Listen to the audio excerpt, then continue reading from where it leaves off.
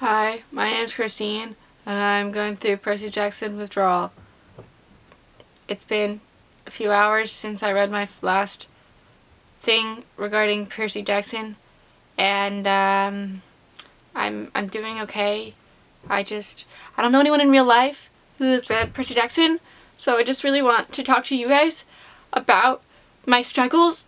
Um, and I was hoping maybe you'd want to discuss some things about the movie. So I just recently watched the Percy Jackson movie, The Lightning Thief, right? My reactions were basically cringe, cringe, cringe, cringe. Have these people read the book or did they read a synopsis and then just write the script from that?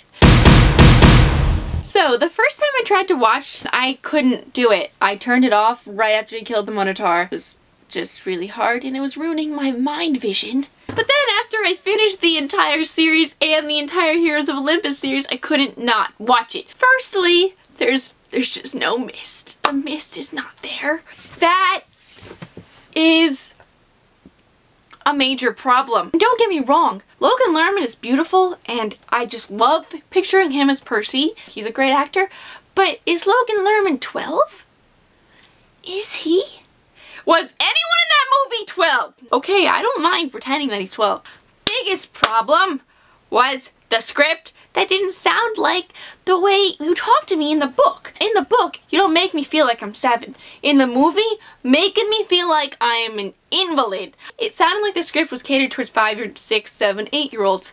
And this book is so good that it can appeal to everyone. That is an enormous accomplishment as a writer. In the movie, we'd have lines after seeing that he was dyslexic with the board and stuff. Then we go home and he's like, Mom, it seems like this dyslexic and ADHD thing is getting worse. Uh, when will I understand? When? When? This guy's a sleazeball. Why do you stay with him? We can see he's a sleazeball. We don't need him to say it out loud. We don't need him to be underwater for like 10 years in the beginning and um, be like, I don't know, I just feel so comfortable in the water. Chris Columbus really is a children's director. Why did they have a children's director when they're working with people who are older than 7. They're 14, 15, 16, 17, 18, 19, 20 those kids were.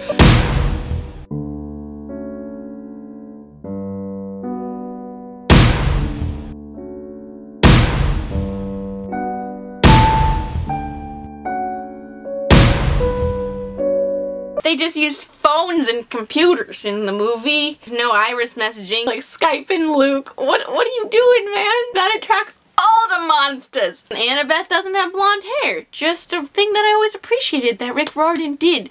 Made a blonde character really intelligent. You just could have thrown a wig on the girl. You just could have thrown a wig on the girl. There's no Clarisse. There's no Dionysus. That Clarisse scene was a great first scene. He was too old to have that happen to him in the movie. Just it wouldn't be believable that some girl stuck Logan Lerman's head in a toilet because he's too attractive and male and old enough to ward off that. Okay, our introduction scene to Annabeth. Where was my waking up in the hospital bed, staring at Annabeth and her saying, you drool in your sleep? Where was that? Where was that? Instead, we go to do capture the flag and Annabeth beats the crap out of Percy. I'm just, oh, cringing as she slashes at him and opens up skin. Also, apparently, uh, Percy can heal others with his water powers too. There was no Missouri scene where he jumped off of that tower and he didn't know if he would survive, but when he got in the water, he discovered that he could stay dry and all this really cool stuff. None of the parts were there. Just everything has changed. All I know is a sad hello. There was no oracle. There was no no prophecy, which drives the whole series. No prophecy. Just Hades jumping out of a fire. What? The gods are not allowed to talk to their kids, which is completely plot change from the whole entire series. The gods ignore the kids. Not because they have to, but because they just do, because they're assholes and they have a million kids and they're gods. That's why. And we didn't have the big three. They didn't have the whole big three aren't allowed to have children. That is the main thing about prophecy. No Ares fight. They go to Tennessee where there's a replica of the Pantheon and the statue is there. A replica of the statue. The statue. And I was, whoa.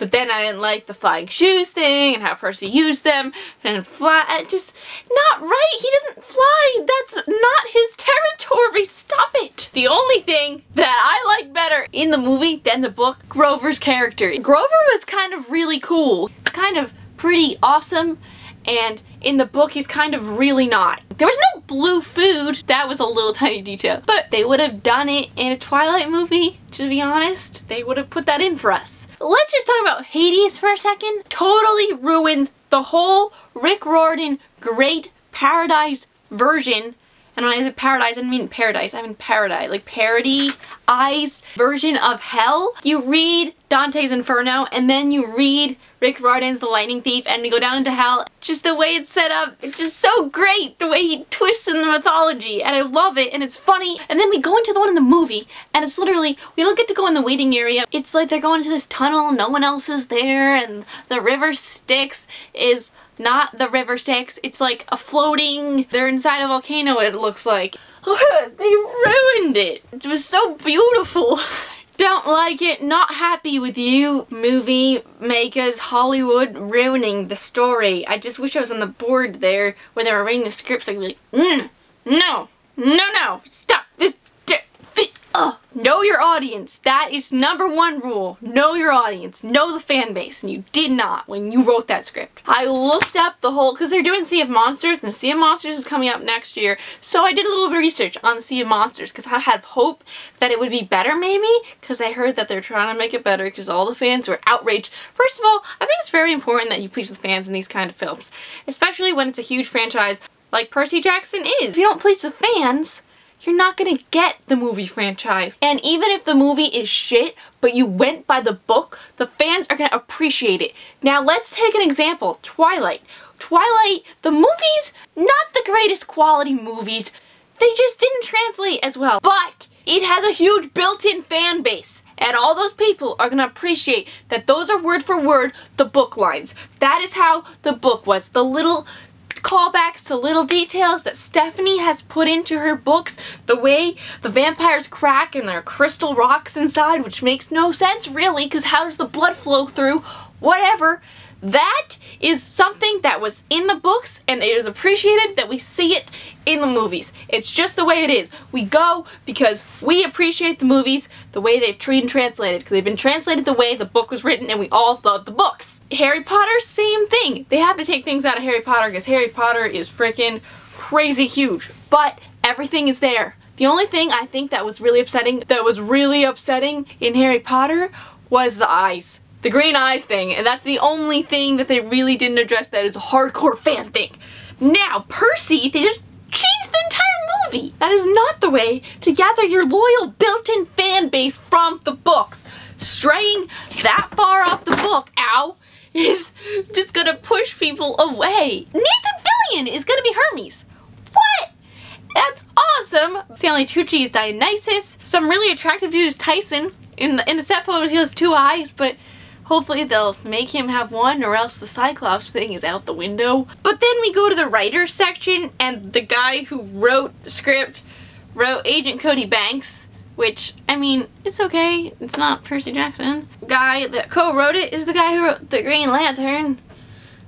And then the director is Thor Frudel, who is the guy who directed The Diary of a Wimpy Kid and Hotel for Dogs.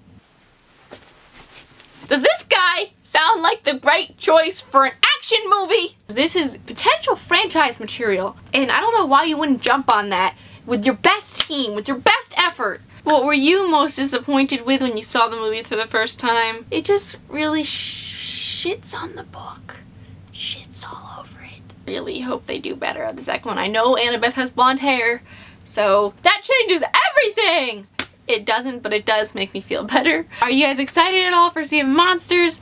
Let me know. I'll talk to you next time. Bye!